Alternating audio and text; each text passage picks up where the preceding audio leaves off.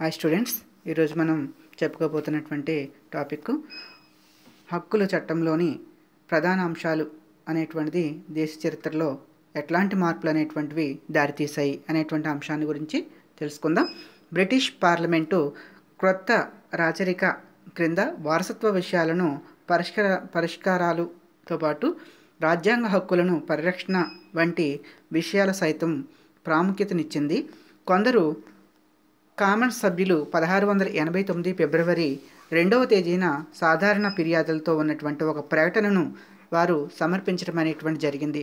ఉభయ సభలలోనూ చర్చ అనంతరం కూడా వారి అది ఫిబ్రవరి పన్నెండవ తేదీన ఆమోదించడం అనేటువంటి జరిగింది. ఇందులో అనేకమైనటువంటి అంశాలను పార్లమెంట్లో మతపరమైనటువంటి న్యాయపరమైనటువంటి సంబంధము మరియు ఆక్షేపణలు ఉన్నాయని తొలగించడం అనేటువంటిది కూడా జరిగింది. జరిగింది. అదే అదే మరుసటి రోజు మరి హక్కుల ప్రకటన విలియం మేరీ విలియం మేరీల సింహాసనం అధిష్టా అధిష్టానం సమయంలో అధిష్టాన సమయంలో సమర్పించారు. ఈ పత్రాలన్నింటినీ వారు స్వీకరించడంతో నాటి వరకు ఏర్పడ్డ రాచరిక సంక్షోభం తొలగిపోయింది.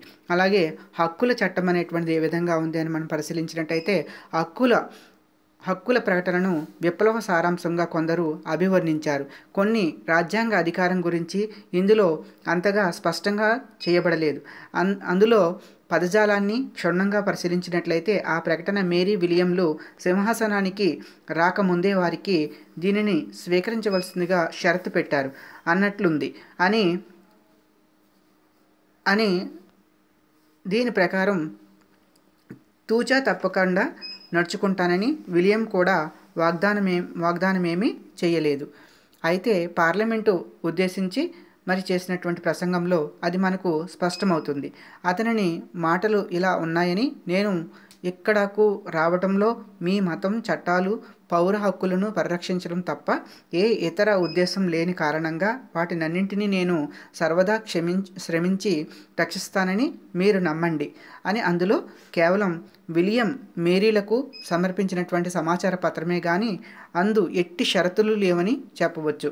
ఆ పత్రంలో సమర్పించినటువంటి సమాచార పత్రమేనని అందు ఎట్టి షరతులు కూడా లేవని చెప్పవచ్చు.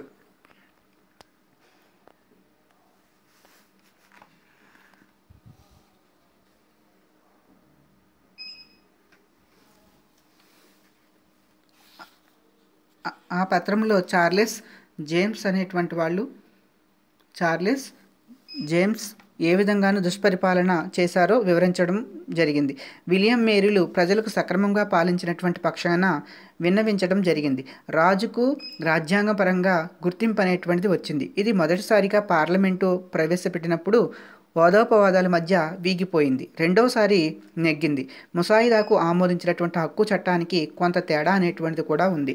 అలాగే మరి హక్కు చట్టాన్ని విలియం మేరీలు ఆమోదించడంతో మరి సంవత్సరం నాటి హక్కు హక్కుల ప్రకటన అనేటువంటిది అంశాలను అంగీకరించినట్లయి అట్లయింది. కానీ ఆ సూత్రాలు రాజును అతనిని అధికారాన్ని ఎంతవరకు అదుపు చేయగలవు అనేటువంటి ప్రశ్నార్థకంగా ఉంది. అని ఆచరణలో కానీ తెలియలేదు. ఎందులి అంశాలు పదహారు వందల ఎనభై ప్రాంతంలో రాజులు చలాయించినటువంటి రాజ్యాధికారాలను ప్రస్తావించాయి. అవి కొన్ని జేమ్స్ కాలంలో నాటివిగా మరికొన్ని చార్లెస్ కాలం నాటివిగాను ప్రజలు తమ కోరికలను మహాజ మహాజ మహాజరులుగా సమర్పించే హక్కు న్యాయపాలన అనేటువంటిది న్యాయపాలన విధానాలను విమర్శించే హక్కు ఇవ్వబడింది.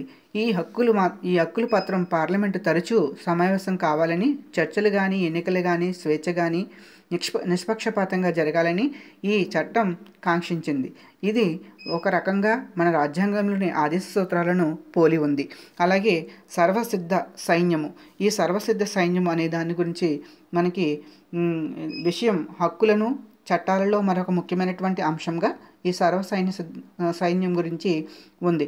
శాంతి సమయాలలో దేశంలోని శాంతి సమయంలో దేశంలోని ఏ భాగంలోనైనా ఏ భాగంలోనైనా సిద్ధ సైన్యం ఏర్పాటు చేయాలంటే పార్లమెంట్ అనుమతి తప్పనిసరిగా కావాలని ఇందు స్పష్టంగా వ్రాయబడి ఉంది.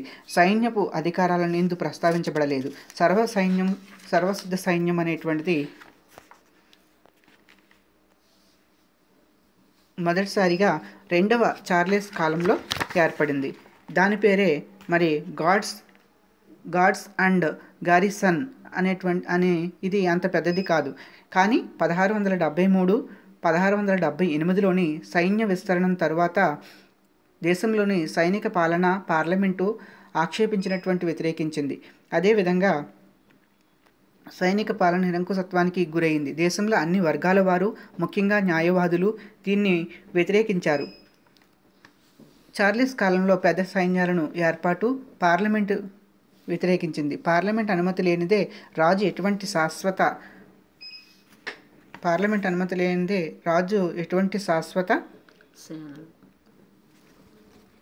సేనలను ఉంచుకునేటువంటి హక్కు లేదని ఈ ప్రకటనలో స్పష్టం చేయటం జరిగింది. సైన్యం స్పష్టం చేయటం జరిగింది. సైన్యంలో మరి తిరుగుబాటు పారిపోవటము వంటి చర్యలు నాటి న్యాయ న్యాయవాదులు మరి తప్పుపట్టలేదు. పదహారు వందల ఎనభై తొమ్మిదిలో తొమ్మిది తొమ్మిది నాటికి సైనిక చట్టం అనేటువంటిది క్రమశిక్షణను ఉల్లంఘించినటువంటి ఉల్లంఘించినట్టు ఉల్లంఘించిన వారికి శిక్షించడానికి రాజుకు నిర్ణీత కాలానికి మాత్రమే అనుమతి ఇచ్చి అనుమతినిచ్చింది. అటువంటి చట్టాలను ఏ ఏ ఏడాది ఏ ఏడా ఏడాది అనుమతి ఏ ఏడాదికి ఆ ఏడాది అనుమతి పొందాలని ఉన్నందువల్ల రాజు పార్లమెంటుపై ఆధారపడవలసి వచ్చింది. అలాగే అందువల్ల పార్లమెంటు సైనిక న్యాయస్థానాలను ఏ సమయంలోనైనా రద్దు చేసేటువంటి అధికారాన్ని పొందింది. వీటి వీటి వల్ల పార్లమెంటు సైనిక విషయాల్లో పూర్తి అధికారమును పొందింది. ఈ చట్టంలో రాజ్యాంగ విషయాలన్నింటిలోనూ సైనిక విషయాలను మిక్కిలి కొత్తవిగాను మిగిలినవన్నీ సామాన్యు సామాన్యములే. ఉదాహరణకు పార్లమెంటుకు జరిగినటువంటి ఎన్నికల్లో స్వేచ్ఛ జరగాలి. అలాగే స్వేచ్ఛ జరగాలి. వంటివి దీనికి కార్యాచరణ. అందుకు వివరించబడి వివరించబడడం లేదు. ఇంకా చాలా అంశాలు స్పష్టంగా పేర్కొనబడలేదు. కానీ హక్కు చట్టాలు ఒక ప్రధాన ఒక ప్రధాన రాజ్యాంగ చట్టము. ఇది ప్రపంచ ప్రసిద్ధి చెందినటువంటి మాగ్నా కార్టా. అలాగే వంటిదని కొందరు కొందరు ఇది అమెరికన్ రాజ్యాంగ రచయితలుగా మరి స్ఫూర్తినిచ్చింది. ఆ రాజ్యాంగంలో ఆయుధాలు ధరించి అధికారము అసాధారణ శిక్షలను విధించేటువంటి అధికారం వంటి సవరణలుగా చేయబడ్డాయి. అలాగే సవరణలుగా చేయబడ్డాయి. అలాగే మాక్యవల్లి చేసినటువంటిది ఏంటి చూసినట్టయితే మాక్యవల్లి ఆధునిక రాజనీతి శాస్త్ర పితామహుడు. పితామహుడు ఆయన రచనల్లో అతి ముఖ్యమైనటువంటిది ది ప్రిన్స్ ఆఫ్ లా ది ప్రిన్స్ ఆఫ్లో దీనిలోని ది ప్రిన్సెస్లో దీనిలో ఆయన పాలకుల కోసం కొన్ని మార్గదర్శకాలను రూపొందించారు. పాలకులకు పాలనకు సంబంధించినటువంటి పాలనకు సంబంధించినటువంటి మతపరమైనటువంటి ఆదర్శాల గురించి సలహాలు ఇవ్వలేదు. సలహాలు ఇవ్వలేదు. సమాజంలో నిజమైనటువంటి రాజకీయం ఎలా పనిచేస్తాయి చేస్తాయో వివరించాడు. నిజమైనటువంటి మనుషులు అలాగే వాళ్ళు రాజకీయ జీవితాలను ఆయన అధ్యయనం చేశాడు. మాక్యవెల్లి ఆదర్శ సమాజం ఎలా ఉండాలో చెప్పడంలోనే కాకుండా మానవ సమాజం ఎలా ఉండాలో అధ్యయనం చేశాడు. మనుషులు సొంత ప్రయోజనాలతో ప్రేరణ పొంది పొందుతారన్న భావన వాళ్ళకి అన్ వాళ్ళకి ఉండడంలో ఉండడంతో ప్రజలు స్వార్థ ప్రయోజనాలను గురించి లేదా దానిని ఉపయోగించుకునేటువంటి విధానాలను గురించి అధ్యయనం చేశాడు.